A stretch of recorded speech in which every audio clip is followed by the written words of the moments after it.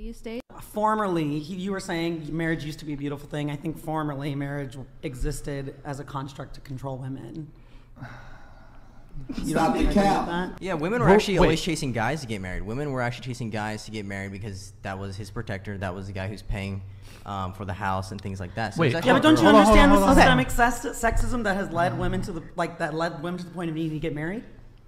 Are Marriage, women more marriage happy was now? marriage was not something to control women.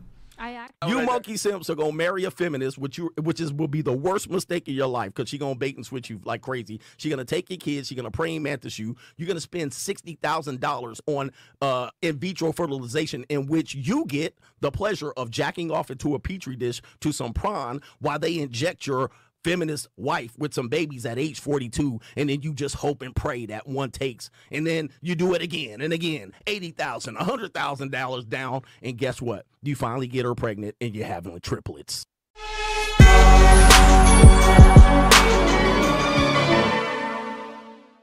Ladies and gentlemen, welcome to the Sheep Get Sheared podcast, home of people, politics, and popular culture. I'm your host, Austin Creed, and you know I got to give credit to Fresh and Fit, uh, CGA, and the Whatever podcast for the clips at the beginning of the show. Look, this is going to be a very controversial issue, and I'm gonna just walk into the controversy because you know what? This needs to be discussed, and I've heard people discuss similar topics, but not from the lens and from the perspective that we will be talking about this today. My friends, I hate to be the bearer of bad news, but marriage is not what it once was. I believe marriage to be a sacred institution. I'm a religious man. The problem is when when we look at today versus the time of yesteryear, we see a very stark difference between human behavior and we also see what was accepted by society. Because back in the day, people were still people. They still messed up, they still cheated, they still did debaucherous things. That's nothing new.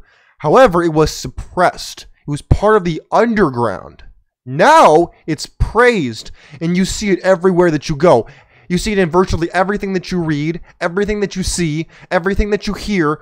All of it is pushed that you, as the man, are the oppressor, and the woman is the oppressed and the victim. I mean, just look at the clip at the beginning of the show that we played of that woman saying that marriage was used to control women. Can you believe this? To control women. Again, every time they have to be the victim. Every time the women have to be seen as the victim. They're perpetual victims because they think in their heads that if they're the victim, they're vindicated and totally free from any blame, anything that could go sideways, and immediately most people will take their side. And unfortunately, they're they're right about that, by the way. But my friends, this is something that is really near and dear to my heart because feminism has not destroyed marriage, it's marred it, it's impaired its quality. And the reason I say that is do you hear the way people even talk today? Let's put treatment aside. We'll get there eventually, and I've kind of touched on it already. But let's just get down to even rhetoric because everything starts with an idea. And when you look at the conversations and the rhetoric that people use when they discuss marriage today, I remember, I'm not even that old, mind you. I remember a time when it was, oh, here's my wife. Oh, here's my husband. And now it's, here's my partner. Here's my spouse. We've kind of removed this idea of gender roles. We removed this idea of gender norms and how people are meant to kind of interact and the expectations that are associated. As much as we want to make everybody exactly the same and ca- equally capable of everything, it's just not true. For example, you cannot get around the fact that women biologically are the only ones that can have children. You can't change the fact that very large margin of men are biologically stronger and more designed for work than are women. These things are facts of reality. We can't change them. Even if you are a transgender person listening to the show, and you are a man who now is a woman or whatever, you can't grow a uterus. You can't grow fallopian tubes. These things are still a part of biology and not just pure sociology. Because when people want to bring up this idea of, oh, gender is just a societal thing, no, it's not. No, it is not. You can't change who you are. You can't change your chromosomes. You can't change the DNA structure. And I realize these are all things around marriage. I understand that. But the reason that feminism has marred marriage, this thing goes way, way back. This is nothing new. And if this is new to you, I don't know where what planet you've been living on. But feminism is not about equality. I know you've been lied to and you think that it is, but it is not. In fact, I've played on the show before. I forget which video. Frankly, I've lost track. But I remember mentioning Rockefeller and going back to the women's the early women's lib movement and the women's rights movement. It was funded by Rockefeller in his words, to tax the other half of the population, number one. And number two, to get the children out of the hands of the parents into the hands of the state so they could become better workers and become more productive citizens that he could then use. Now, you can call that a conspiracy theory. It's discussed. I don't know if it's still on YouTube. It was on YouTube at one point. It might still be there. But I think it was it's Aaron Russo. Is that the guy's name? I think it is but it's him talk. He was he knew Rockefeller, and he talked about this. It, this is nothing new. If you understand the history of the women's rights movement, this is nothing new. But reason I bring this up is because men and women are equal in the sense that they bring equal important things to the table and not necessarily equal by your standards maybe but when you look at it, it's a biological sorry, it's a biological transaction. That's what it is. The if the one party views what the other party has as an equal transaction, it becomes a business deal. I know that's a very unromantic and unflattering way to put it, but that is the base of what most relationships are. Every relationship is transactional. And when you get down to feminism, the reason that feminism is marred in marriage is it has subverted tradition, but it's still you still expect people to be traditional. Let me let me explain this a little bit differently. Who do you think is expected to pay for most of the bills and be quote the masculine one in the relationship? Usually it's the man. Right? But the woman doesn't want to be feminine. Woman doesn't want to submit to the husband. She doesn't want to do her she wants to be progressive in her thinking, but she wants you to be traditional in your thinking and then you wonder why this doesn't work out. You can't put a positive and a positive or a negative and a negative together. It doesn't work. They naturally repel. It doesn't work. You can't put progressive thinking with traditionalism. It just does not work. Because then people are going to be unhappy. Whether it's the woman who's statistically speaking the unhappy one, I think last time I checked, around 80% of divorces were filed by women. Oh, yeah, 80%. And then you want to tell us men that we're the problem when in fact they're the ones who are leaving. and not the men who are leaving. Look, I know this is a very complicated and very touchy issue for people who have been through it, and I understand. I can sympathize for that. Empathize is different, but I can sympathize with it. The problem is, even if you're a religious person listening to this show, you are not immune to this. There's this notion in religious, especially in Christianity, that you want to be in the world but not of it. The problem is with the culture being so counter to the religious beliefs of pretty much every sect of every religion that I am aware of. It's super hard to have a corporate have a corporate job, be in work in secular culture, and then not have that overflow into your life at some level. And it could be drip drip drip of poison, it eventually is going to infect you. It's an it's unavoidable.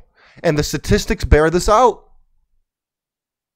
And my friends, I don't like to say this. I wish I could get up here and talk about how marriage is sacred, which it is, and then talk about how everybody should go for it because it works and it's great and it's still as strong as ever. Unfortunately, it's just not true. It's just false. It doesn't actually play out that way anymore. Data supports this. You look outside and you look at the fact that men are checking out. Let me ask you something. what do men actually get out of a relationship? Gentlemen, what do you get out of a relationship? When you're a young guy like me and you're in your 20s, late teens, whatever, of course you're going to get married. Because you don't see what a no fault divorce can do to you. You don't see, uh, I believe it's the marriage wheel. Shout out to CGA. I love his channel, by the way. I don't want it to seem like I'm ripping him off and not giving him credit. When he talks about the marriage wheel, which is fantastic, he did a show about this recently everyone goes through the similar pattern of marriage because everybody has a similar human condition that we can all relate to. There's a template that most people live by. It can look a little different, but by and large, people deal with the same problems as we always have from the beginning of time. And when you look at it, humans are not naturally monogamous creatures. We would like to think that we are because, morally speaking, in our, in our Puritan oriented moral nation, we like to believe that we are, but historically speaking, it's just not true. People are more polygynous or polygamous by nature, and that's just the way it works. People don't want to admit this because it makes them seem like a bad person. You're not a bad person. Now, can it work for some people? Absolutely. The problem is it, it's pushed as if it's a one size fits all for everybody, and it's just not true. Now, I'm not telling you to break the law. Well, I'm not telling you to jump into a marriage because jumping into a marriage today is a horrible idea. Especially if you're a dude, because you stand everything to lose. And you'll do it all pretty much for just consistent sex. I mean, if you're totally honest and you stop BSing me with the the okey doke of, oh, I don't care about sex. It's all about the relationship and it's all about the connection. It's all about. Uh, stop it. Stop it. Stop, stop with the BS. I'm not listening to it. We all know what it is. Stop lying. Do I need to play the clip? I'll play it. Stop lying! I, I don't understand why people be out here lying about it's all sex is so important by the way. Look, people want to downplay this, especially if you're religious. I get it. It's kind of déclassé. It's kind of the third rail of the uh, polite Christian society or polite Puritan society. You don't want to talk about sex. I get it. The problem is it's extremely important because without it, you wouldn't have a marriage. That's what separates your marriage from your friendships. Tell me I'm lying. You can't tell me I'm lying because I'm not. And the reason that feminism has marred marriage and why it ties in is women have been taught to be more masculine and men have been taught basically to, to sit down, shut up, and accept it and take it. Because there was a time in society when men basically could do whatever the hell they want and get away with it. Now the opposite is true, and women can do whatever the hell they want and get away with it, and men have to take it. We're seeing a blowback on what has historically been the case. Now, where does that leave us? That leaves us with marriage having traditional roots with unorthodox approach, which is what we find in the modern day American society, and that's why it's not working.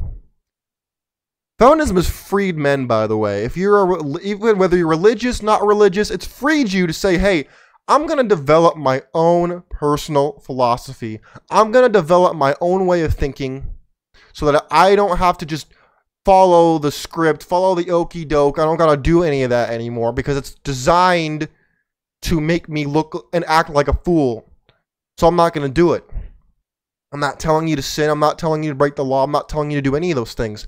What I'm telling you is think for yourself. If you think for yourself and you find that everything you believe right now is something you agree with and you want to stick with, nothing wrong with that at all. As long as you've actually thought it through and you've decided that that's what you want to do, not just accept it because it's what you've been told to accept or conditioned to believe is true, and then therefore you must do. That is something I want everybody listening to the show to do is develop your own personal philosophy, and that's why I talk about at in detail and at length in Biblical Bachelor, my book coming out on the 31st, why I believe that men should become biblical bachelors and not married men without leverage and without options and without perspective. Because it's really easy to just rush into it. And I I know some of my best friends have done it. God bless them. I hope their marriage is fantastic. I love them. I just don't think that that's right for everybody. And I think you're taking a big risk by doing that. And I want to make sure you put your best foot forward and not just jump off the cliff because you've been told to jump.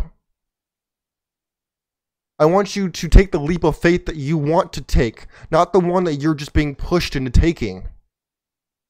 My friends, marriage is supposed to be beautiful, and the problem is it's being destroyed. It's being marred. Its quality is being dis- disheveled. And it makes me sick. And that's why I don't know if I can be be a married guy. Why? Because I don't trust the other person number 1 and number 2 they have every getting into a marriage today. Look, for those of you who don't know how the marriage laws work, your wife is essentially incentivized to break the contract that you signed. Oh, I know you made promises at the altar and you exchanged rings and beautiful vows and everybody cried and they boo-hooed and it was great and it was beautiful and wonderful. I get it. But when you get down to brass tacks and they get down to, to the money, money talks and the rest walks. And when you look at the money, money says, hey, your wife is incentivized to get you to invest for a certain amount of time so she can take the kids, the alimony, and take your ass to child support court, take your ass to divorce court, and just rail you for the cash for the next 18 years or 23 if you live in Hawaii. Oh, yeah. That's just the fact of reality. I'm not saying that every person, every woman will do that. I'm saying that they have the option available to them if they want to do that. And a lot of women talk about it on TikTok like it's a business. Oh, yes. Oh, yes. You thought you were safe out here? You thought it was just the skeezers out here in these streets doing it? Oh, no, my friends, you're mistaken. A lot of women are out here doing it. It's like a new business plan. They can have their cake and eat it too. They can use your money and still get piped down by Chad, Tyrone, Ray Ray, Pablo, you name it. Oh, yeah. They can. Now, they may not always do that, but they can. And it is available to them courtesy of the current laws. And that could happen at any time. She could say that that could not be the case today or then for the next five years or 10 years, but maybe at the 11th year mark, suddenly that might change. You never know. Women are loyal to their feelings, and the feelings are very fleeting, and they can be very dangerous to somebody who doesn't rely on them like you if you're a man. My friends, I want you to make the best decision that's going to be best for your future, and so you win in the long term and don't make short term deals for short term gain that could end up really hurting you in the long run. If marriage works the way it's intended, it's beautiful. Don't get me wrong. The problem is it doesn't work that way for most people these days, and it makes me really sad to see it. But my friends, that's why feminism has marred marriage. It's freed men to do what we want to do and to open our eyes up to what historically we couldn't do. But you got to have the guts to step out of the matrix, take whether it take the red pill and jump out of the matrix and say, "Hey, I'm going to do what I want to do. I'm going to go the way I want to go. I'm going to think for myself and I'm going to take that leap of faith that no one expected me to do." People might say that I'm bugging, that I'm crazy, that I'm tripping, but guess what? I'm not going by their playing by their rules anymore. I'm thinking for myself. My friends, I want you to be a free thinker, not just someone who's falling for the okey doke because they've been conditioned to do it. My friends, God bless you. God bless your families. God bless America. Have a great evening. Hopefully, I gave you some food for thought. I'm out of here. Peace.